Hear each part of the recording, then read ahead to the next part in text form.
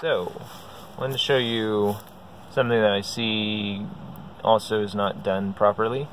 I've got my cement in and my bolt. I've got the strap not coming through and then folding back on itself with the excess, but rather coming through and coming flush to the face of the bolt. So you see that right there? My strap comes through and it just goes flush. Then I start tightening it you have to come through at least, you know, you make your strap about 12 to 15 inches further. So you'd cut it off right here, bring it back, tuck it in to flush. Then you start winding it.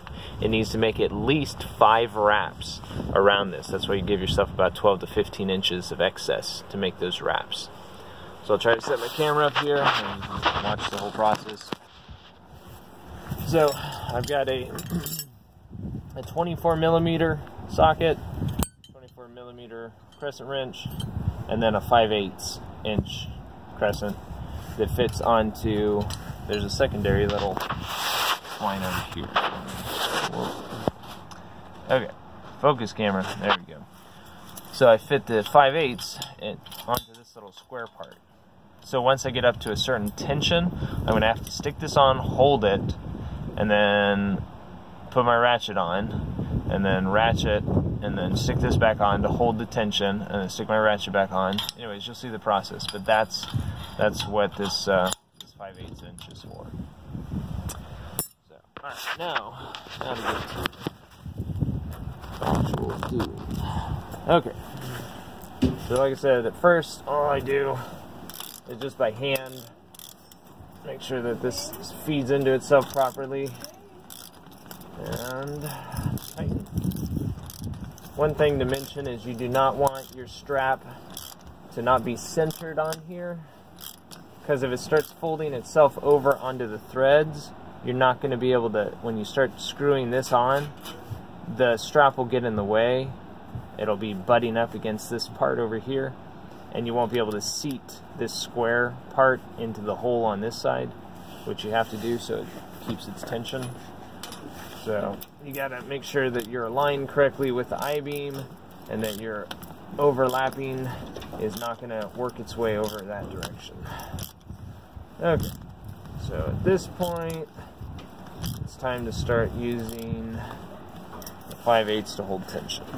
So just put tension on, work the 5 8 into there, pull it off, tension, Come on. Sometimes it needs a little, a little tap to get back over again. Okay. Five eighths. Back on. Come on.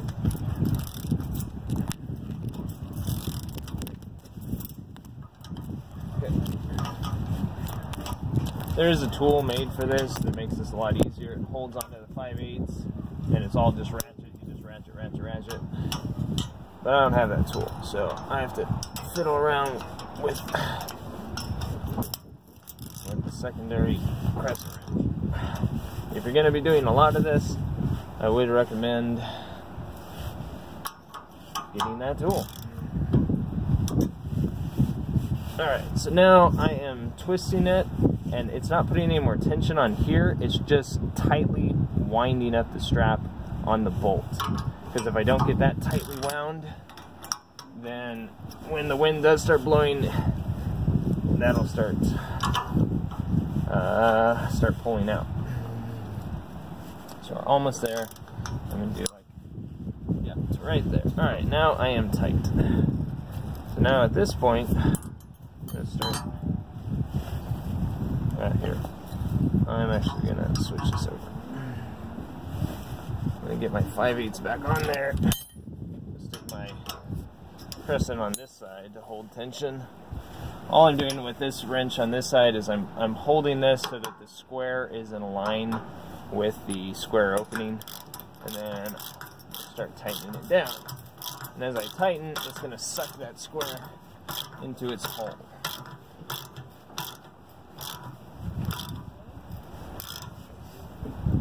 Okay.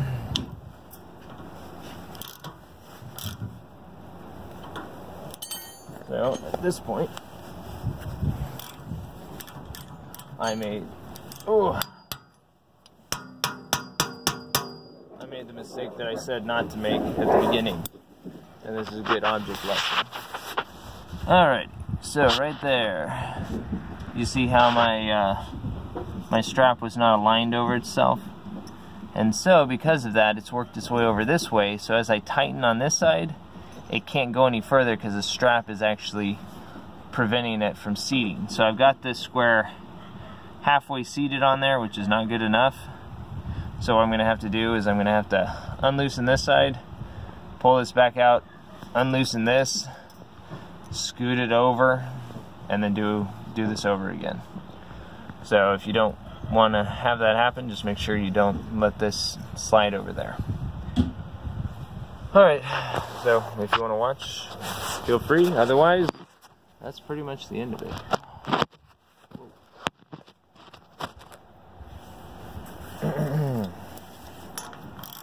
Alright, so at this point,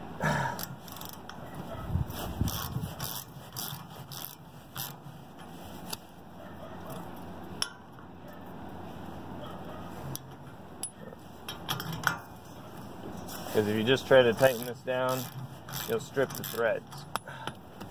So, there we go. Alright, so it popped free. Now, try to just slide it over. Yep, alright, so that worked. That's good. So now, it's all slid over to its proper position. Now I'm gonna, gonna do this tightening over again.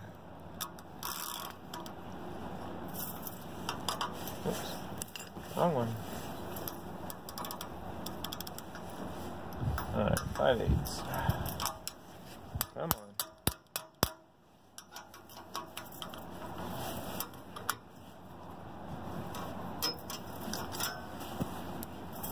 Alright. So at this point, I'm going to stick my 5 eighths back on again. Press a Hold the 5 eighths off if I can. There we go. Ah,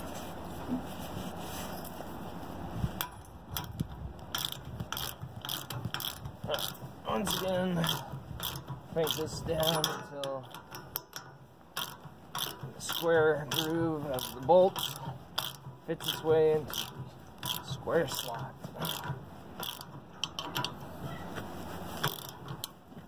Alright, now that is better.